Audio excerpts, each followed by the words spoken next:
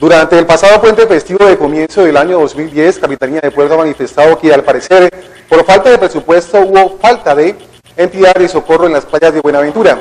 Se espera que sea corregido este aspecto para el puente que se avecina en los próximos días.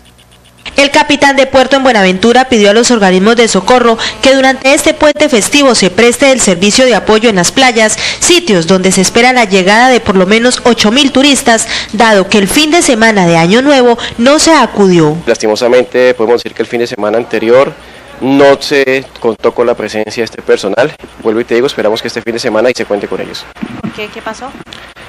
De acuerdo a la información que tienen, que nos informaron era que no se había contemplado, la administración no lo ha contemplado. Explicó que es indispensable que los organismos de socorro como son la Defensa Civil y la Cruz Roja especialmente permanezcan en estos sitios turísticos. Ellos son las primeras personas que van a atender las novedades que se presenten. Vuelvo y espero que este fin de semana sí se cuente con la presencia de este personal de socorro en las playas de cercanías a Buenaventura. Para este puente festivo se tiene dispuesto por parte de la Policía, la Armada, Capitanía de Puerto y Guardacostas el dispositivo de seguridad especialmente para garantizar la tranquilidad de los turistas y se espera que los organismos de socorro hagan propiamente lo suyo. Y así hemos terminado para ustedes media hora de actualidad informativa del noticiero de Buenaventura, el informativo que todo el mundo ve. Hasta mañana.